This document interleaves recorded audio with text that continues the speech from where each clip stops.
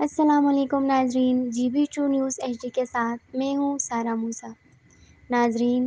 दुनिया की बुलंद तरीन सर सहरा सरफरंगा में Fatima Jinnah woman degree college के तलबात की जानिब से साइकोलॉजी कैंप का इनका किया गया है। स्पीकर गिलगित बल्तिस्तान असम्बली सईद अमजद जैदी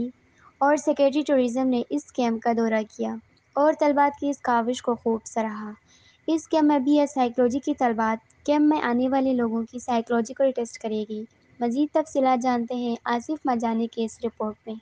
जी तो इस वक्त कोल्ड डेजर्ट सरफरंगा में जो स्टॉल्स लगाए गए हैं इसमें से एक स्टॉल्स आपको ऐसे दिखाने जा रहे हैं जहाँ पर फ़ातिमा जिन्ना वुमेन कॉलेज के स्टूडेंट्स की जानब से यहाँ पर साइकोलॉजी टेस्ट किया जा रहा है। इस हवाले से हम स्टॉल्स में जाते हैं और उनसे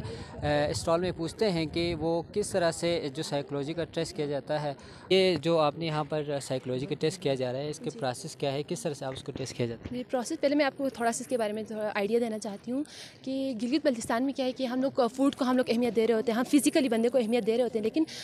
फ़िज़िकल के साथ साथ बंदे की मैंटलिटी बहुत ज़्यादा इफ़ेक्ट करती है। तो फ़िज़िकली और मैंटली दोनों बंदे को सही से उसको मतलब फिट होना चाहिए। तो इसमें यह है कि हम ये कोई छोटी सी असेसमेंट है, जिसकी वजह से क्या होगा कि लोगों के अंदर अवेयरनेस आ जाएगी कि एनजाइटी क्या होता है सेल्फ़ इस्टीम क्या होता है, और फिर डिप्रेशन की वजह से क्या होता है तो इस तरह का कुछ है। जी। बिल्कुल भी नहीं किसी भी स्कूल किसी भी कॉलेज यूनिवर्सिटी में नहीं हो रहा गिलगित बल्तिस्तान में बट जो बल्तिस्तान में जो है पहली बार यहाँ पे पढ़ाना शुरू किया गया है बी एस साइकोलॉजी राइज हुई है तो अब इसकी वजह से लड़कियों के लिए बहुत ज़्यादा आसानी हो रही है क्योंकि जो